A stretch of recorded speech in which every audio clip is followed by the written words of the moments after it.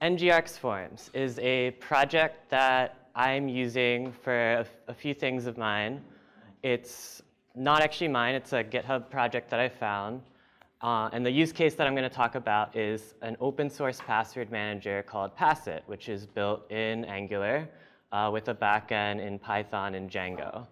So one problem that we often face is building forms is very boring and tedious, and we have a lot of choices, especially in Angular, about how to go about that. There's template-driven forms, reactive forms, there's, give it, there's connecting it to things like NGRX or, or Redux. Why use NGRX with forms?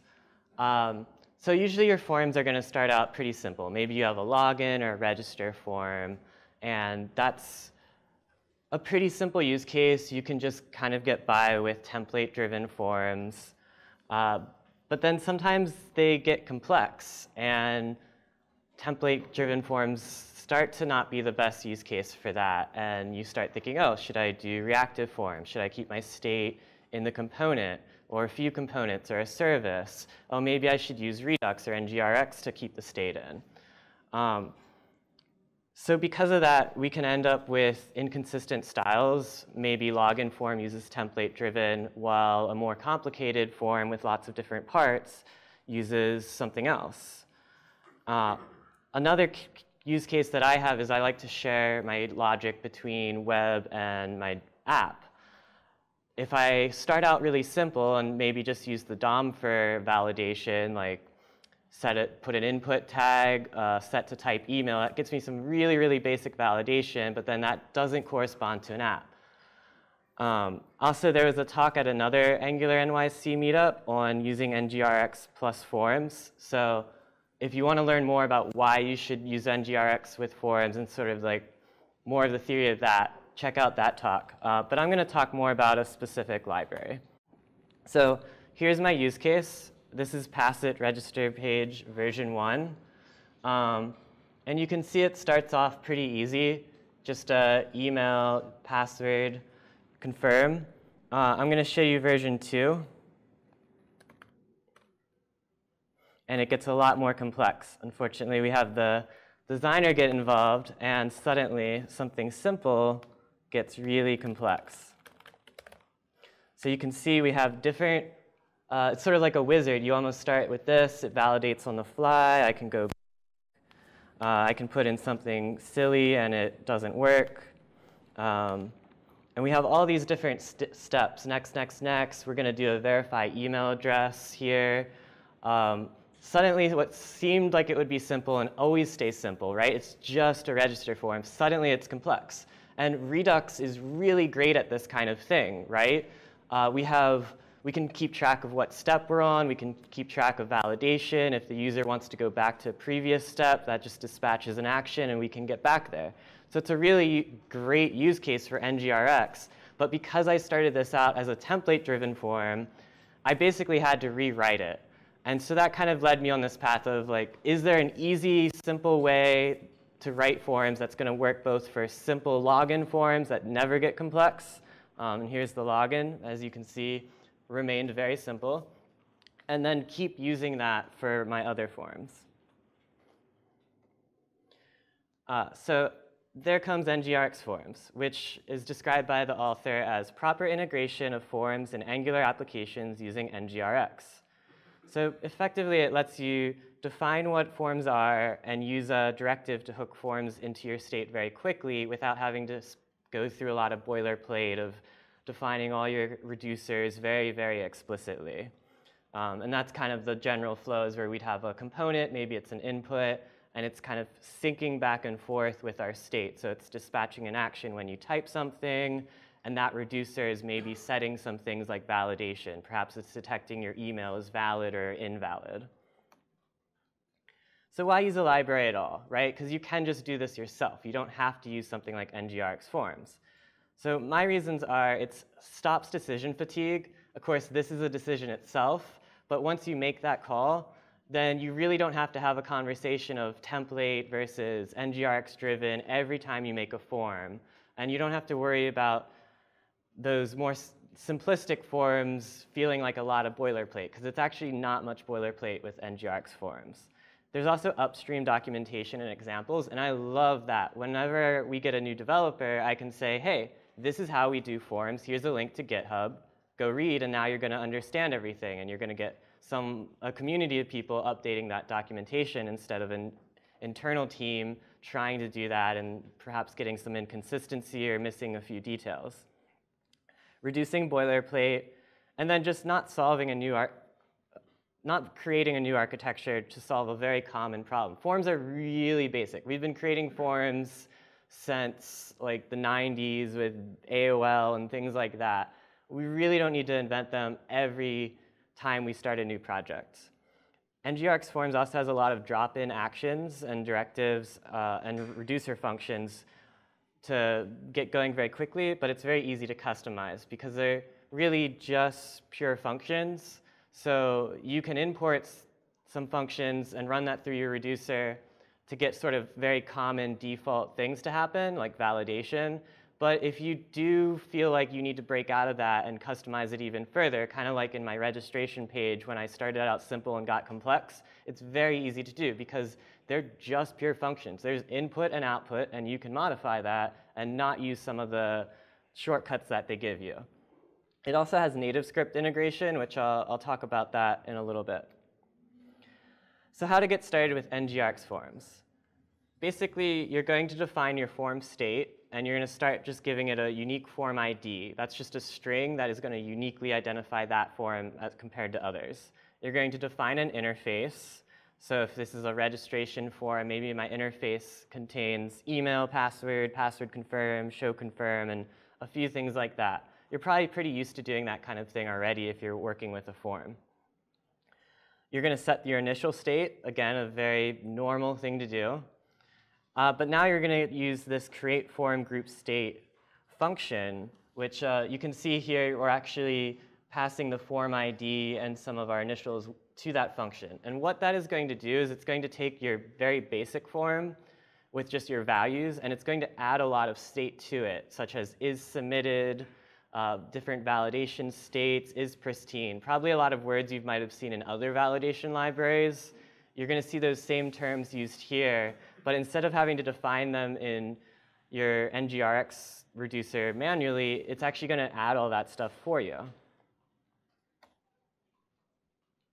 Next, we're going to define our actual reducer. Um, and this is a pretty long function, but it's actually all validation we're going to use create form group reducer with update. That's kind of a shortcut function. You don't have to use this. You could just define a reducer. You could look at your action, look at your existing state, and just copy that state and modify it as needed if you want. But this shortcut, if you define this without any of this extra stuff, is going to just create all of it for you in one line. And this extra stuff are options that you can pass. All of this is just validation logic, and that also comes with the library. So again, it's kind of shortcut things for very common use cases. That's going to include validate, uh, some like required validation. There's a regex you can see. Um, we're going to make sure that the password and password confirm, that's just where you're confirming your password by typing it again, that those are the same. And if not, we're going to raise a validation error. And then there's a few boring things that you're probably very used to if you've ever really pass state anywhere in an Angular app, but uh, especially if you're using NGRX. Um, so all we're going to do is write a selector to get our form. Very basic thing if you're using NGRX already. We're going to pass that from a, a smart container to a presentational component um, and define that that's actually not a registration form, but it's a form group state with a registration form. Because again, we have all that extra metadata about it. Then we're going to use a directive. And that directive right here, NGRX form control set, uh, is going to be set to the control for that particular form. So if our registration interface has an email field, we're going to do controls.email. And what that's going to do is sync that input with our state. So instead of having to dispatch actions ourselves, write all those actions, write the reducer to manage all that, this is actually going to just do all that for you. And of course, since you're using Angular, you're going to import the library into your module. So let's see what this does. This is now our form, our registration form that has Redux dev tools shown, and you can see some of the actions that happen. So as the user is typing H-E-L-L-O, we're going to get a set value each time that they do that, which is updating our state, and we'll get some diffs from that that we can see. We'll also notice a few extra things are happening. The first time somebody clicks into that, it might uh, set is pristine to, to true or to false as soon as somebody types something in. If they hit enter, it's going to send set is submitted to true instead of false. Um, and you can see a few there. There's mark as touched, um, just different things that you're probably going to pass on to like a CSS developer that so that they can target those kinds of classes and make you know this red show up when it's invalid or green show up when they type something that is valid. A few more features that it has, asynchronous validation. So let's say we're on, I'll, I'll actually just show you the, use case for that. Let's say I'm registering and I want it to do something as I type. That's actually checking if that username is available kind of 300 milliseconds after I stop typing. Similar to that, yeah. Um, all it has is kind of like a default set of actions and a, a default set of uh, places in your state so that it's very predictable where those asynchronous validation errors are going to occur. It's not writing that logic to like debounce for you. Obviously, it's not writing the server for you. You still have to have some endpoint that can do this check. You still have to write maybe an effect to, to know which server to ping and what is success and failure. But it provides some good defaults for you uh, so that you know where those validation errors are going to live in your state. Um, there's a lot of other shortcuts that I didn't mention, but different validators and things of that nature that you can just throw in your reducers for very common use cases.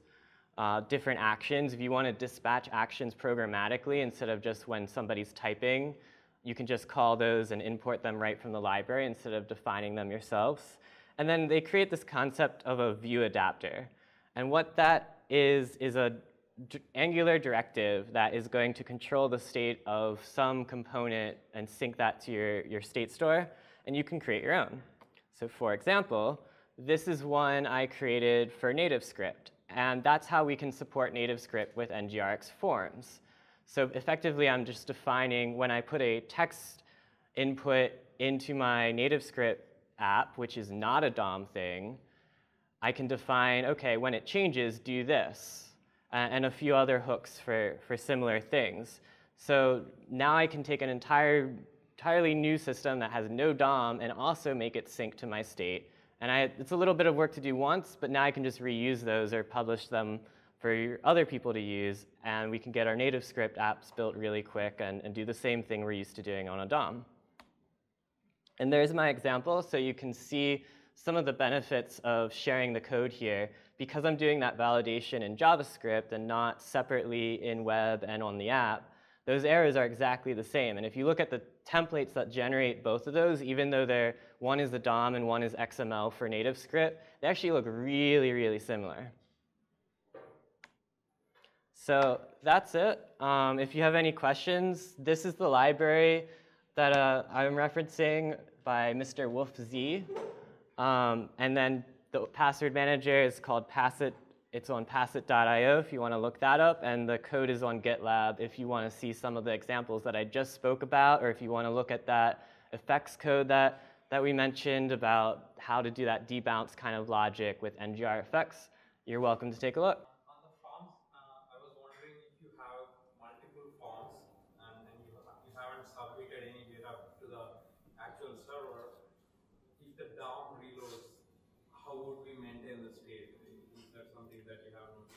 So that's a, that is something that I actually have done. If, if you're talking about like if you reload the entire tab. Yes, you have step one, step two, step three. Mm-hmm. The user finished step two, and now it happened that the page is reloaded yeah. and he lost the DOM. So NGRX Forms doesn't deal with that directly, but because you're putting it in NGRX, it's actually extremely easy to sync that with local storage. There's another library, I think it's just called NGRX local storage, that can let you define which keys in your state you want to sync. Uh, so you could selectively say, hey, this form, that's maybe like a pretty long form, I want to sync that to local storage. So they, they could even close the browser and come back to it, and you can control how it loads that state back in and, and get them right where they left off. Yeah, you mentioned that your sign form you started with a template-driven form before you transitioned over. Would it have been any easier if you started with a reactive form before transitioning? Uh, the basic answer is yes. If I would have used a reactive form just to begin with, and perhaps even sync that with NGRX manually, I think that would, that would have definitely prevented me from having to recreate it outright. Um, but I think using NGRX forms makes it easy enough that I'm actually willing to do that all the time because writing all those actions for every little form, especially if it's like one input and it has a submit button, it just doesn't feel like you need all that complexity. But NGRX forms is gonna like give you that level of, of power, but without a whole lot of work. Okay. boilerplate reducer? Yes, exactly.